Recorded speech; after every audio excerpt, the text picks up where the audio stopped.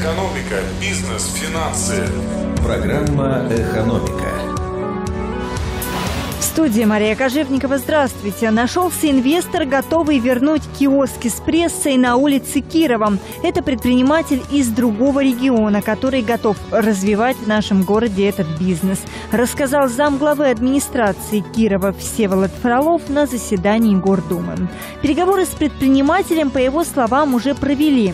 В августе он должен представить свои предложения по расположению ларьков. Также Фролов рассказал о других вариантах распространения печатной продукции в городе.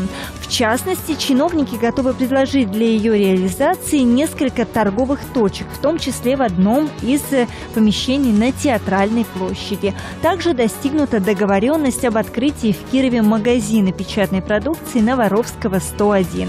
Это почти напротив бывшего магазина Роспечати, который сейчас выставлен на продажу. Перед закрытием магазина в городе, напомню, перестали работать и киоски с печатной продукцией. Собственник разобрал их, заявив о нерентабельности бизнеса. Программа «Экономика». Кировские депутаты смогут тратить на наказы избирателей в полтора раза больше. С 2023 года увеличится сумма на работу депутатов в округах. Решение об этом было принято на заседании Гордумы.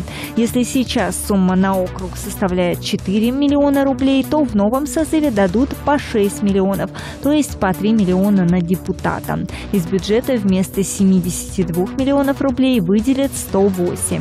На что тратить деньги депутаты решают сами. В этом созыве они договаривались направлять их на замену окон в детских учреждениях. Также в числе приоритетов депутатов разных созывов благоустройство и детские площадки. Экономика. На 101 FM. Кировской области выросла доля белых зарплат. Об этом говорят данные, представленные службой исследований HeadHunter. Ее специалисты выяснили, как жители Кировской области получали зарплату на текущем и последнем месте работы, официально или нет.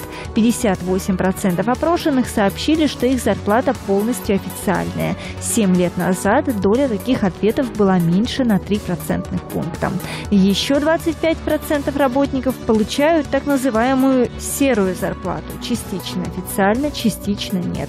У оставшихся 70% вся зарплата черная, то есть полностью в конверте.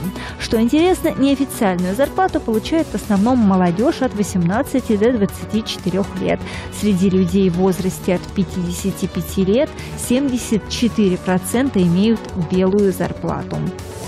Экономика.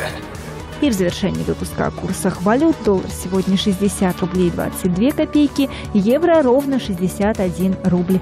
Мария Кожевникова, новости экономики в Кирове. Программа «Экономика». На 101 FM.